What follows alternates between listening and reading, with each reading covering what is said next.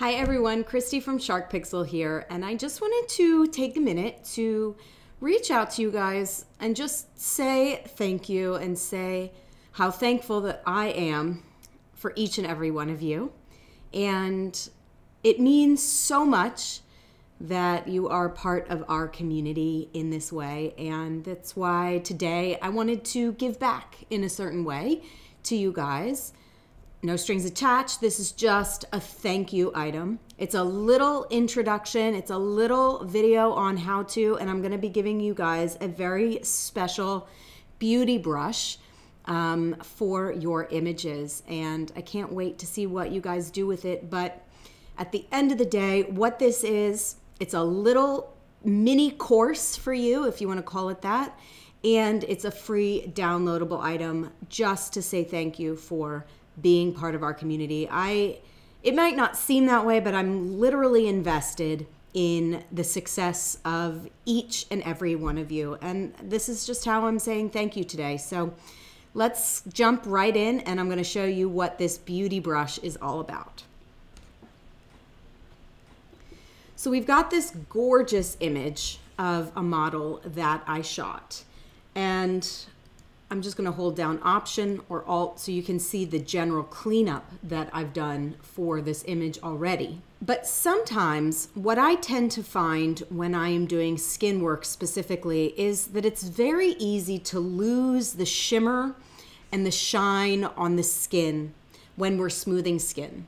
And so I think second to your need and your want to protect skin texture, Secondary is going to be to protect that native shine, right? Because as you decrease the visibility or the brightness of the shine on the skin, you tend to make it look fake. So you always want to protect those shiny areas. You know, not too much shine. You know, this is this is protecting the shine that we want to be there, right? And so what I have done is I've created a bit of a sparkle brush. And so I'm gonna just show you what that brush looks like. It's called my Skin Shimmer Brush, and it has specific actions applied to it. Um, and it's going to be modified in specific ways as you use this brush. But this is the brush that I'm giving away to you guys for free today. And um, let me just show you, you know, first, before we get started, um, what it actually does. So I've got an image here. Let's go ahead and fill this box with black. And then we're going to brush with white. So as I brush, you can see that this brush is actually adding sparkle, shimmer, and shine to the area that I'm clicking on. And I'm actually just using my mouse for this. This is a little bit crazy. You know, usually I would be using my tablet, but this brush, because of the way that it works and because of the way that it reacts, actually you can get away with using your mouse using this brush. So this is great. It looks a little bit like splatter, if you will, but how does this equate? How do we apply this to beauty retouching? So I wanna go ahead and just increase the native shimmer, probably in this area and underneath the cheek here, and maybe also along the bridge of the nose and a couple other locations on the face as well. So I'll start by creating a hue saturation adjustment layer and we'll call this uh, shimmer. Why not? We are going to increase the brightness of this layer to 53. And then we're going to change the blend mode of this layer from normal to screen. Let's select our layer mask for our shimmer layer and hit Command or Control I to invert the entire mask. Then we're going to use our super snazzy shimmer brush to bring back some of the shimmer and shine on the skin.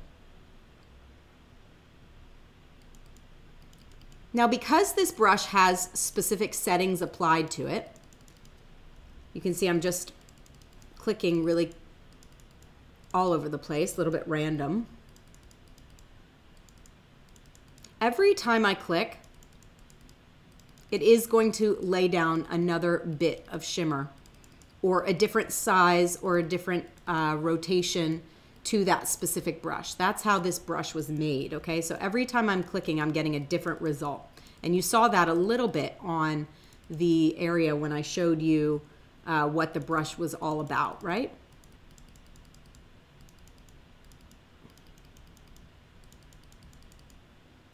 So at this point, I'm just gonna go ahead and go on and off of what the brush was able to do.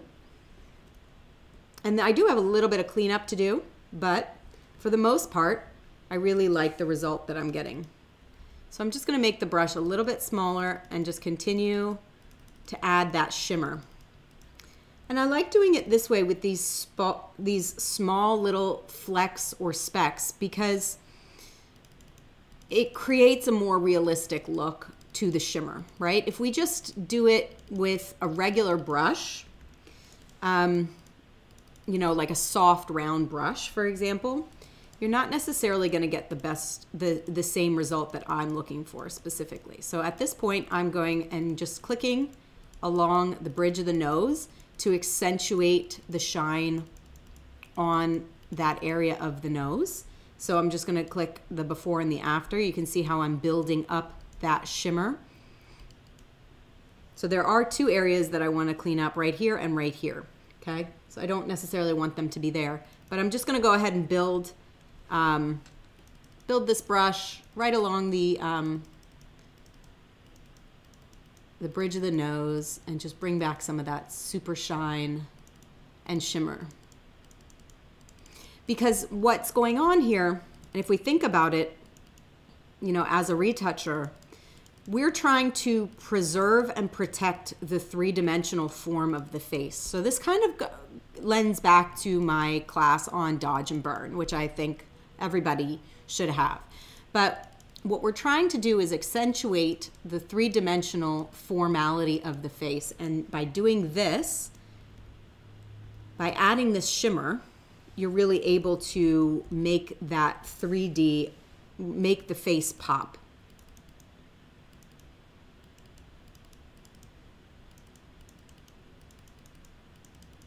So I'm gonna go in here and fill in this area with a little bit more shimmer.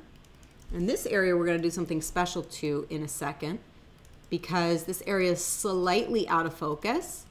And so I want the shimmer to also be out of focus. So one of our next steps after we're finished here, especially with this area up here, is going to be to uh, add a little bit of Gaussian blur to the shimmer that we're adding up here because we want the retouching to stay natural and and live within the constraints of the image.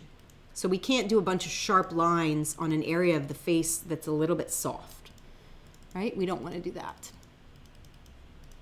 So we've added our shimmer there. Let's turn the eyeball on and off for our image. So you can see I love the way it looks on the nose. I have a little bit of cleanup to do on the cheek. And remember, you guys are going to be getting this brush as a thank you. Today, you're going to be able to download it and use it on all of your images. So you can use it as a glitter brush, you can use it as a shimmer brush. Um, wherever you want to add unique uh, flecks of light and glitter, you can do that using this brush. Just to really highlight the, the face. Let's come over here and just highlight this area next to this eye.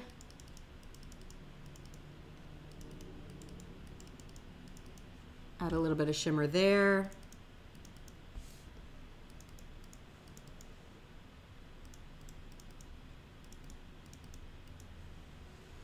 All right, so let's back up and we'll see our before and our after. You can see how it's bringing back that natural shine to the to the skin in a really cool, unique way that does not look like retouching at all. So we have a little bit of cleaning up to do, right? So the first thing we're going to do is switch off of our shimmer, our skin shimmer brush, and we're gonna go back to a soft round brush. You know, just your regular brush that you probably are familiar with um, for Photoshop. We will change our um, color that we're painting with from black to white by hitting the X key. We're gonna zoom in here and just, you know, just off of this area slightly and off of the nose. I think there shouldn't, there probably shouldn't be any sparkle there. But then we turn it on and off and you can see even when you zoom in like this, you know, you're, it's, um, it's nice to see this final result. Maybe off the lips just a little bit.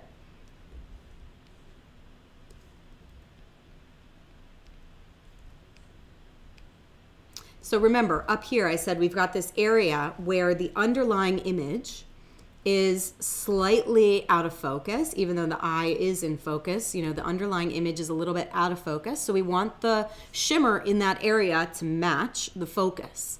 So we're gonna use our lasso tool, which you can activate using the L key on your keyboard. We're going to go ahead and make a selection of the shimmer in this area where the underlying image is slightly out of focus. And then we're going to choose filter, blur, Gaussian blur, and 6.6 is probably way too blurred. So what we can do is let's try uh, one pixel blur. Eh, it's getting there, but it's not necessarily there yet because it doesn't match the rest of the shimmer, the underlying shimmer. So what if we do 1.5? That seems to be really nice. And it blurs the shimmer perfectly to the point where it looks natural and it looks like it was there all along. So we can deselect that area by hitting Command or Control D. Bring back this gorgeous, beautiful face. And go ahead and turn our shimmer on and our shimmer off.